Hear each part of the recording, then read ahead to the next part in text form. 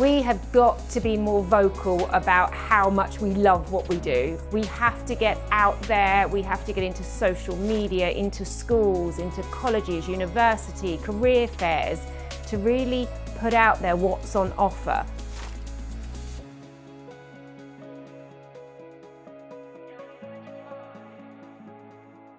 I'm Amy Bird. I am one of the owners of Countrywide Metals and we recycle across the board non-ferrous metals with a heavy leaning towards aluminium. So I started in the metal recycling business working for my dad. So my dad had aluminium smelters back in the 80s in the middle of East London and I vowed I was never ever going to come into the job. So I did a few other things but then it got the better of me and I started working on the weighbridge and I worked my way up through the ranks and got to know quite a lot of really cool people.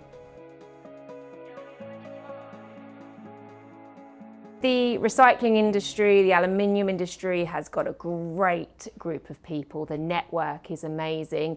And I always say, you know, this industry tends to find you. I think it's a buzz. I think you get such a buzz from having a deal and you get turning what appears to be maybe rubbish into something new and you're committing to the sustainability side of things. And it just feels good to be able to take something old and see it become something new.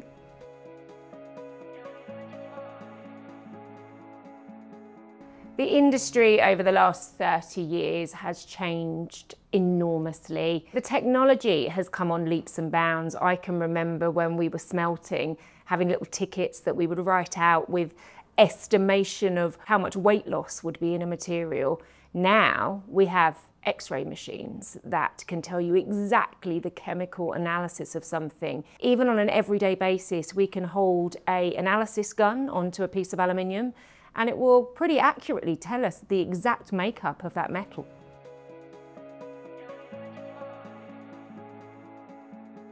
So I think apprenticeships could be great for this industry.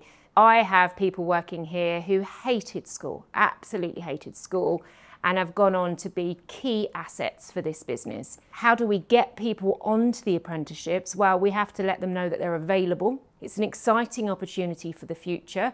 I know for a fact that students want to be involved in sustainability, in the future of this planet. How do we help? How do we become more environmentally aware? And it starts here with these businesses.